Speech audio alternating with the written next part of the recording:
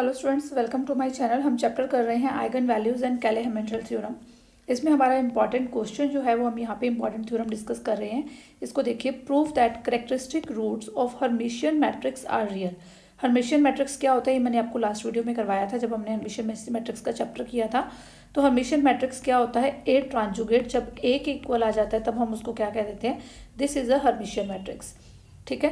तो अब बात होती है कि जो इसके करेक्टरिस्टिक रूट्स आएँगे, या हम करेक्टरिस्टिक रूट्स को दूसरा नाम क्या देते हैं? देखिए, आपको ये इस तरह से भी आ सकता है करेक्टरिस्टिक रूट्स या फिर आपको यहाँ पूछा जा सकता है आइगन वैल्यूज़, ठीक है? प्रॉपर वैल्यूज़, ये सारे इसी के नाम हैं। प्रॉपर वैल्यूज़ यहाँ पे लिखा हो सकता है, यहाँ पे लेटेंट रूट लिखा हो सकता है लेटेंट रूट्स और यहाँ पे लिखा हो सकता है एक्ट्रल वैल्यूज़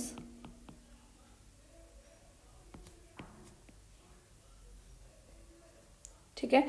इसमें से characteristic roots eigen values proper values latent roots spectral roots कुछ भी यहाँ पे पूछा हो तो इसका सेम ही रिज़ल्ट होगा। यहाँ पे क्या है? Proof that characteristic roots of Hermitian matrix are real ये पूछ लिया। या फिर आपसे पूछ लिया proof that eigen values of Hermitian matrix are real proof that proper values of Hermitian matrix are real तो एक इसके, ये सारे इसी के नाम है तो ये ध्यान दे लेना। ठीक है? तो इसको मैं यहाँ पे ब्रैकेट में कर देती हूँ। अब इसका प्रूफ कैसे करेंगे? देखिए, सबसे पहले आपको एक हर्मिशियन मैट्रिक्स गिवन है। तो हम कोई मैट्रिक्स लेते हैं। Proof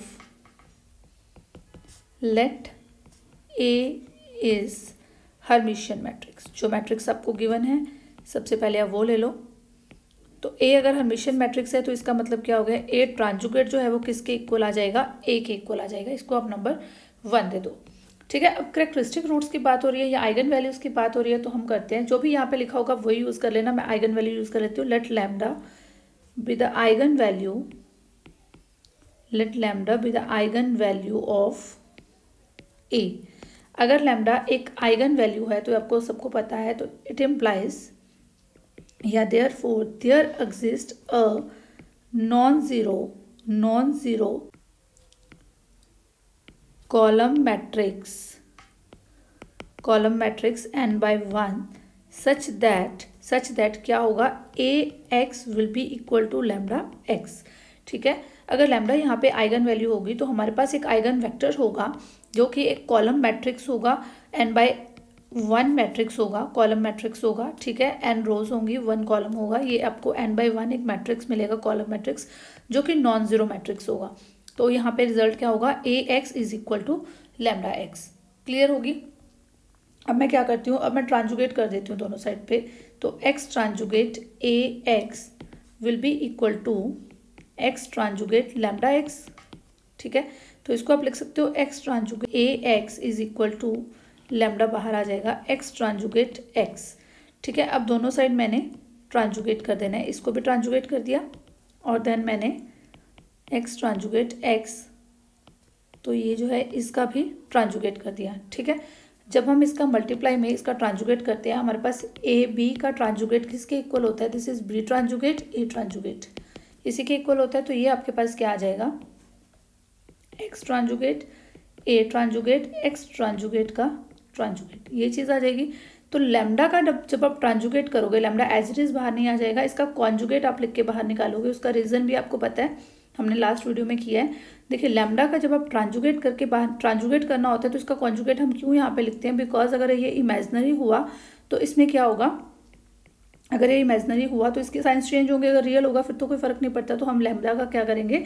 यहाँ पे कॉन्जुगेट लिख लेंगे और साथ में एक्स ट्रांजुगेट और एक्स ट्रांजुगेट का ट्रांजुगेट क्लियर तो ये आ जाएगा एक्स ट्रांजुगेट ए ट्रांजुगेट किसके इक्वल है? ए ट्रांजुगेट ए के इक्वल है बिकॉज़ ये हर्मिशियन है और हमने यहाँ पे पहले ही लिख दिया था नंबर वन दे दिया था इसको, ये देखिए। हमने यहाँ पे पहले ही मैंशन कर दिया था तो ए ट्रांजुगेट ए के इक्वल आ गया। अब एक्स ट्रांजुगेट का ट्रांजुगेट एक्स के इक्वल आ गया। That is equal to lambda conjugate ये आ जाएगा एक्स ट्रांजुगेट एक्स क्लियर हो गई इतनी चीज़? अब ए एक्स किसके इक्वल है? यहाँ पे देखिए ए एक्स किसके इक्वल आया था? लेमडा एक्स के इक्वल इसको आप नंबर टू दे दो। ठीक है? यहाँ पे भी जो आपने ये यूज़ किया है A transjugate is equal to A तो यहाँ पे भी आप मेंशन कर दो फ्रॉम वन अब ए एक्स है लेमडा एक्स के इक्वल तो यहाँ लिख दो lambda x is equal to lambda conjugate इस तरह से। तो ये आ जाएगा फ्रॉम टू आपने इसको लिख दिया लेमडा एक्स ठीक है? लेमडा आप यहाँ कॉमन ले सकते हो तो ये आपका आ जाएगा एक्स ट्रांजुगेट एक्स तो ये माइनस लेमडा इज़ दिस तो x transjugate x is equal to zero अब यहाँ पे देखिए lambda minus lambda conjugate x transjugate x is equal to zero अब ये देखिए एक्स ज़ीरो लिख सकते हो या फिर आप ये कहोगे कि ओ मैट्रिक्स है, ये वाला ज़ीरो मैट्रिक्स है नल मैट्रिक्स है।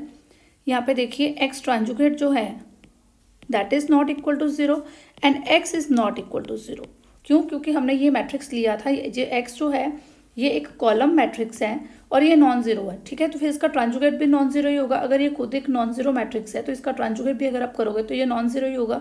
तो इसका मतलब क्या हो गया कि एक्स ये जो है, ये एक नॉन ज़ीरो मैट्रिक्स है। मीन्स ये तो ज़ीरो नहीं हो सकता, इसका मतलब क्या हो गया कि lambda minus lambda conjugate zero हो जाएगा। ये तभी ये ज़ीरो बनेगा ना बिकॉज़ ये इसमें से कुछ तो ज़ीरो होना चाहिए, ये ज़ीरो नहीं है तो इसका मतलब ये ज़ीरो है। ठीक है? तो ये lambda is equal to lambda conjugate it implies lambda is real it implies lambda is real तो आपने ये चीज़ प्रूव कर दी कि जो वाइगन वैल्यूज़ होती हैं, या करेक्टरिस्टिक रूट्स होते हैं, वो क्या होते हैं? रियल होते हैं. हरमिशन मैट्रिक्स के जो रूट्स होते हैं, वो रियल होते हैं. क्लियर हो गया? यहाँ पे आपको जैसे भी पूछा होगा, आप उसके अकॉर्डिंग कर सकते हैं. हरमिशन मैट्रिक्स के करेक्टरिस्टिक रूट्स पूछा है तो आप यहाँ पे करेक्टरिस्टिक रूट लेके चलो लैमदा को। अगर आपको आइगन वैल्यू पूछा है प्रॉपर वैल्यू पूछा है, जो भी पूछा है, वो वर्ड आप यूज़ कर लोगे और प्रूफ आपका सेम रहेगा। क्लियर आई होप आपको वीडियो पसंद आई है। अगर पसंद आई है तो वीडियो को लाइक कीजिए और इसको दूसरे बच्चों के साथ भी शेयर कीजिए। Thank you and keep watching my videos